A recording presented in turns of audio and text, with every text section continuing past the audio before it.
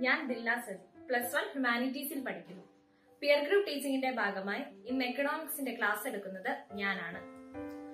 എക്കണോമിക്സിന്റെ രണ്ടാമത്തെ പാഠമായ Indian economy nineteen fifty two nineteen എന്ന പാഠത്തിലെ ഹരിത വിപ്ലവം എന്ന ഭാഗമാണ് നമ്മൾ ഇന്ന് ചർച്ച ചെയ്യാൻ പോകുന്നത്.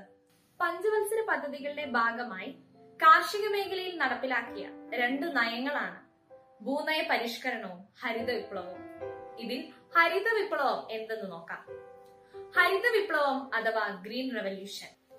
ഉയർന്ന വിള തരുന്ന വിത്തുകളുടെ സഹായത്തോടെ കാർഷിക മേഖലയിലുണ്ടായ ഉൽപാദന വർധനമാണ് ഹരിത വിപ്ലവം അഥവാ ഗ്രീൻ റെവല്യൂഷൻ.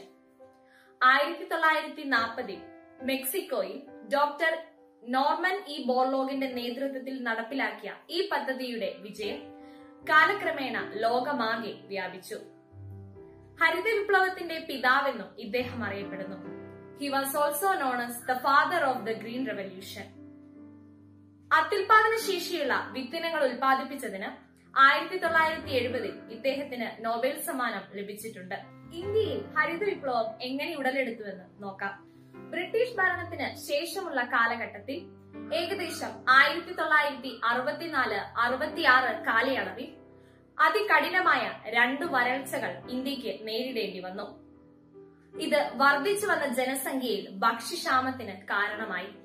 ഇന്ത്യയിൽ അന്നുണ്ടായ അതിഭീകരമായ വരൾച്ചയെ തരണം ചെയ്യുന്നതിന് അന്നത്തെ കാർഷിക വകുപ്പ് മന്ത്രിയുടെ ഉപദേശകനായിരുന്ന ഡോക്ടർ എം എസ് സ്വാമിനാഥൻ ബോർലോഗിനെ ഇന്ത്യയിലേക്ക് ക്ഷണിച്ചു. ഭക്ഷ്യസുരക്ഷയ്ക്കും ദാരിദ്ര്യ നിർമ്മാർജനത്തിനുമായി അക്ഷീണം പ്രയത്നിച്ചതിന്റെ ഫലമായി doctor M S Swaminathan Indian ഹരിത വിപ്ലവത്തിന്റെ പിതാവ് എന്നറിയപ്പെട്ടു. He was known as the father of Indian green revolution ഇന്ത്യയിൽ ഹരിത വിപ്ലവം രണ്ടു ഘട്ടങ്ങളിലായാണ് നടപ്പാക്കിയത്. ആയിരത്തി തൊള്ളായിരത്തി അറുപത്തി അഞ്ച് മുതൽ എഴുപത്തി അഞ്ച് വരെയുള്ള ഒന്നാം ഘട്ടവും ആയിരത്തി തൊള്ളായിരത്തി എഴുപത്തി അഞ്ച് മുതൽ എൺപത്തി അഞ്ച് വരെയുള്ള രണ്ടാം ഘട്ടവും. ഒന്നാം ഘട്ടത്തിൽ പഞ്ചാബ് തമിഴ്നാട് ആന്ധ്ര എന്നീ പ്രദേശങ്ങളിലാണ് ഇത് പ്രാവർത്തികമായത്. ഗോതമ്പാണ് പ്രധാനമായും ഉൽപ്പാദിപ്പിച്ചത്. എന്നാൽ രണ്ടാം ഘട്ടമായതോടെ ഇന്ത്യയിലെ പല സംസ്ഥാനങ്ങളിലേക്കും ഇത് വ്യാപിക്കുകയും ഗോതമ്പിന് പുറമെ അരിയുടെ ഉൽപാദനം വർദ്ധിപ്പിക്കുകയും ചെയ്തു. ഇനി ഹരിത വിപ്ലവത്തിന്റെ ഘടകങ്ങൾ ingredients of the green revolution എന്തെന്ന് നോക്കാം. അത്യുൽപാദന ശേഷിയുള്ള എച്ച് വൈ വി വിത്തുകൾ ഉൽപ്പാദിപ്പിക്കാൻ തുടങ്ങി. രാസവളങ്ങളും കീടനാശിനികളും ഉപയോഗിക്കാൻ തുടങ്ങി. ട്രാക്ടർ പമ്പ്സെറ്റ് മുതലായ ആധുനിക സൗകര്യങ്ങൾ കൂടുതൽ ലഭിച്ചു തുടങ്ങി. ജലസേചന സൗകര്യം മെച്ചപ്പെട്ടു. ഏറ്റവും കുറഞ്ഞ പലിശ നിരക്കിൽ കർഷകർക്ക് വായ്പാ പദ്ധതികൾ നൽകാൻ തുടങ്ങി. ഹരിത വിപ്ലവം ഇന്ത്യയിൽ നടപ്പിലാക്കിയതോടെ ഇന്ത്യക്കുണ്ടായ ഗുണങ്ങൾ എന്തെന്ന് നമുക്ക് നോക്കാം. കാർഷിക മേഖലയിലെ ഉൽപാദനക്ഷമത കൂടി.